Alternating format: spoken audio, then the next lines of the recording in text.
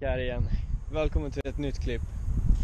Här bakom mig har vi ett stort garage där det står mindre flygplan. Och idag ska vi upp och flyga. Så häng med och titta på det här så får ni se hur flygningen går till.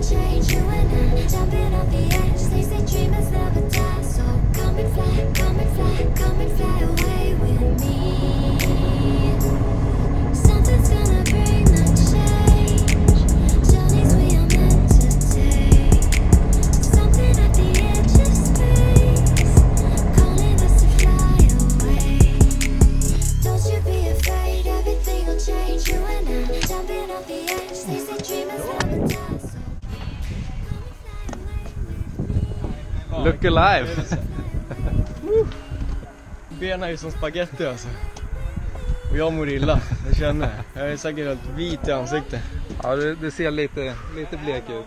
Nu är vi nere på marken igen och jag är ruskigt skakig i hela kroppen. Eh, magen är upp och ner.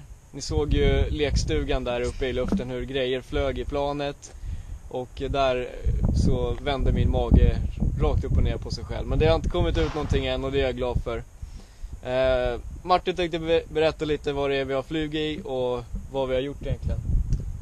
Vi eh, flög en Piper Archer eh, och var uppe på ungefär 3000 fot, strax över. Sen har vi gjort lite branta svängar. Vi har eh, gjort lite buntar och lite annat smålattjo, Ja. vingklippningar och grejer. sen eh, vart det lite lugnare flygning ut en sväng till Gista och sen så kom vi tillbaka. Sen har vi landat på marken igen. Så gillar du det här klippet, tumma gärna upp det. Gillar du att titta på mina övriga klipp jag har på kanalen så börja gärna prenumerera på min kanal, för det uppskattar jag. Ja, typ. Hej då.